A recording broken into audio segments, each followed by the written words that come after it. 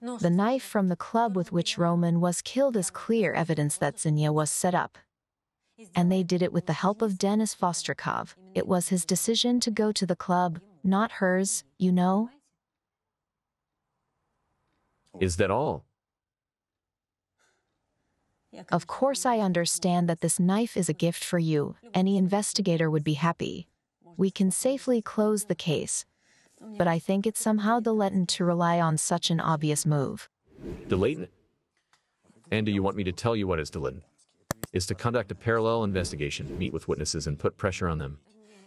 If you interfere in my case again, I'll do my best to have you disbarred. I swear. Forget that I'm a lawyer.